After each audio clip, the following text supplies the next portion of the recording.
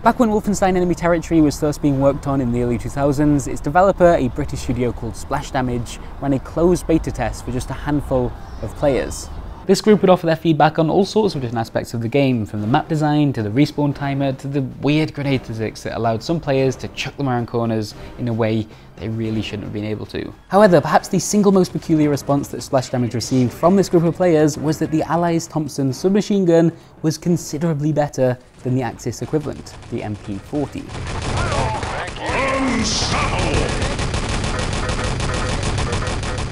The general consensus was that if you had a Thompson, it was slower but harder hitting.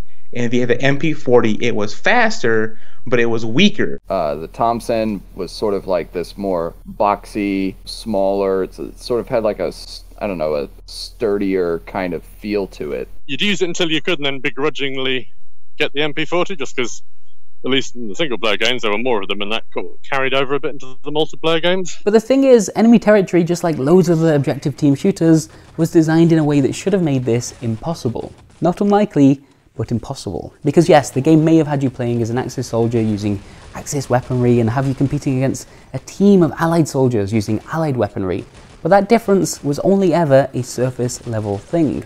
The guns, for the sake of balance, had the exact same stats, the M1 Garand mirrored the Karabiner 98K, the Colt was identical to the Luger, and the Thompson was no different to the MP40. So why were players saying something else? What had gone wrong here? I put those questions to Ed Stern, now the lead writer for Splash Damage, although if you're familiar with the credits for Enemy Territory, perhaps you knew him better as Ed Bongo Boy Stern instead.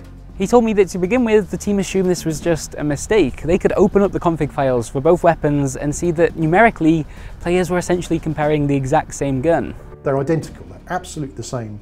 Damage, uh, rate of fire, reload speed, clip size, absolutely the same. The players are wrong. This is, this is bad feedback. And then we look at the server data and players are getting more kills with the Thompson than the MP40. The players are right how, what, what, what's going on here. And the one thing we trace it to is the Thompson had bassier audio. It just sounded more powerful. So players felt more powerful, they felt more confident with it, they went for more headshots, they got more headshots, they got more kills. The players were right. So the fix for it was to change the audio, not the weapon. we, we just put less bassy audio on it and they felt more similar and you know, that sort of solved the problem. It may not have been a perfect fix, I should point out, as some WET players believe even to this day that the Thompson is in fact the superior SMG. But either way, I think it's a really interesting problem for a game developer to try and tackle. It's the game design equivalent of that time Ron Weasley figured he'd been slipped a lucky potion before his big Quidditch match and then played an absolute blinder in front of the Gryffindor hoops. Now if you were tasked with trying to balance the game of Quidditch right then and there and you were to ask Ron for some feedback mid-game, he's going to tell you, listen, hands up, I've necked half of Felix Felicis here, and that's probably why I'm playing so well. That's your problem. That's the thing that needs fixing. Hell, but that wouldn't actually be the case, would it? Really, you'd be looking at some kind of placebo doping scandal here, and you'd probably want to at least suspend Harry Potter from Hogwarts while you conducted an investigation. Probably Hermione as well. I mean, she knew about it. She might not have been happy that it was happening, but she didn't exactly grass them up either, did she? Hang on, what was I talking about? The point I'm making is this. The discussions between players and developers about what's wrong with a game, or even what's right, can be way less straightforward than we'd like to think. It's what game designer Adriaan de Jongh describes as evil data. Here's him talking about the concept at GDC just a couple of years ago. So evil data is playtesting results that are distracting, that are unclear, or that are misleading, um, and in turn, that may lead to you guessing what to do. It may lead to a worse game. It may lead to a less unique game, longer development time, and you know many other bad scenarios. There are some really fantastic examples of this, like when that game company was doing some early tests for Journey, a game about exploring a vast desert landscape and occasionally meeting other players. Although importantly, as you'll know if you've played it, you can never speak to these people or type messages or anything so direct. Now, the team had considered including friend invites at one point during development, and incredibly, some of the feedback they received suggested allowing proper voice chat integration because players wanted to be able to talk to the friends they'd then chosen to play with. That's somewhat understandable, right? Players could see each other, they're jumping around, they're helping one another through the environment. Why not also offer the option to allow them to talk as they play? Well, because in the words of creative director Jenova Chen, Journey is a game about strangers. It's more unique if you don't know how old they are, who they are, and you just look at them as a pure human being. The problem wasn't the lack of voice chat then, it was that players knew who they were playing with. And so that's what they changed. There's another fascinating story from the World of Warcraft beta about how players hated a system known as Fatigue XP, which meant the longer you played, the less experience you'd eventually receive for defeating enemies. To get rid of that fatigue, you'd need to find an inn and then just log off for a while. The idea being Blizzard wanted a way to discourage players from staying online for too long without taking a break. And while their feedback was simple, get rid of it. Just like with Wolfenstein's SMGs, there seemed like an obvious solution to the problem, it just needed fixing. But instead of reacting to that initial response, the team at Blizzard took a step back and realised that the problem wasn't necessarily the system itself, but the framing of that system. And so they flipped it on its head. They patched the game so that players would receive bonus XP when defeating enemies if they'd recently logged off while at an inn.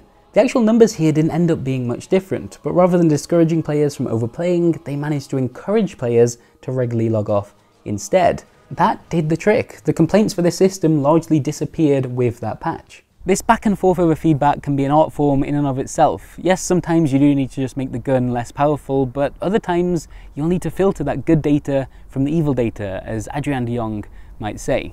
But it's gotta be a difficult line to walk, I'm sure. I asked Splash Damage's Ed Stern what the team had learnt from tweaking the Thompson sound effect all those years ago, and how it applies to their development process now and how they interpret player feedback.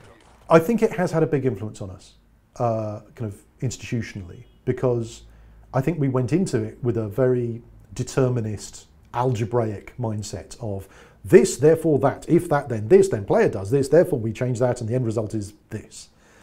And the more we've done it, the more we've realized that people are not data driven in the same way that code is, that people's reactions are human and emotional, and they're the result of lots of things, not all of which they are aware of. And the kind of rule of thumb with this, which is a bit of a cliche, is that players are hardly ever wrong about how they feel, but they're usually wrong about why that is. I think that's sort of bullshit. I think I think that's a, a, a really big simplification. But it's not always wrong. Like definitely, you get oh, it's definitely like this. It's because of that. And like no, well that's the res- that's the resultant vector of loads of different things. Changing the music in combat, changing the ambience, the way the the the footfall audio works, changes people's perceptions of what the weapon damages are, because it changes. What's the way of putting it? The adjectives and adverbs change the verbs in the game like the whole feel of it is made of so many different elements and people as with cinema tend to downplay the audio side of things. Actually audio is a fantastic persuader um, and has a really massive impact. Sometimes greater than the impact of actually changing the stats on the weapons. It's a weird thought though isn't it? To think that two weapons with identical stats can feel so different in a player's hands uh, just because of the way they look or the way they sound. I mean i say that but I don't think you'd find me falling for something so trivial.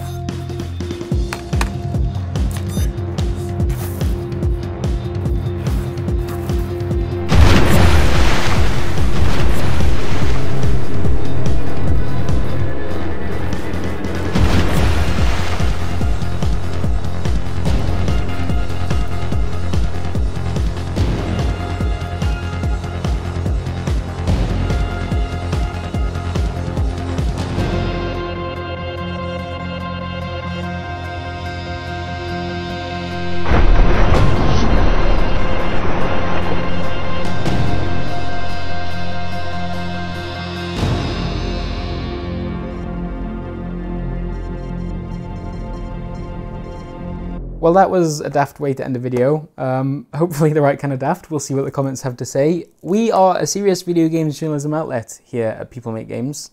Please don't forget that. And do you know what else we take seriously? Internet security. Thanks to Dashlane for sponsoring this month's episode. Dashlane is an app for iPhone, Android, Mac, or PC that's designed to keep you safe on the internet while simultaneously handling a bunch of stuff that you probably find quite tedious. Like, for example, now that Steam doesn't have quite the same monopoly over the PC gaming market, you're maybe going to want a couple new passwords because, hey, you're a responsible internet user who doesn't still use the same password that you came up with in high school. Right? Dashlane lets you create passwords that look like this, and then you can store them all in one place so you'll never have to click forget password again. But hang on, storing passwords all in one place sounds like a terrible idea. That's a good point, and that's also why Dashlane stores and decrypts all of your information locally on your device using a master password, so even if Dashlane itself were to get hacked, your passwords would remain safe. On top of this, Dashlane comes with a built-in VPN so you can keep your location private even while using unsecure Wi-Fi networks, and it'll also store any personal and credit card info that you want storing. If you head over to dashlane.com forward slash make games, you can get started for free on your first device, and then if you'd like to upgrade to premium so you can use it across all of your devices, you can use the code MAKEGAMES to get 10% off. Thanks again to Dashlane, and thanks also to you for watching this video. If you'd like to support our work, we are largely funded by our patrons over at patreon.com forward slash people make games. Uh, people that support us get access to a whole backlog of extra goodies like a monthly patron show and behind the scenes videos, but most of all, they allow us to do what we do full time, which we're incredibly grateful for. Uh, yeah, hope you like this one, and we'll see you real soon. Goodbye. Oh, that's weird motion blur. Look at that. Okay, I'm gonna go now.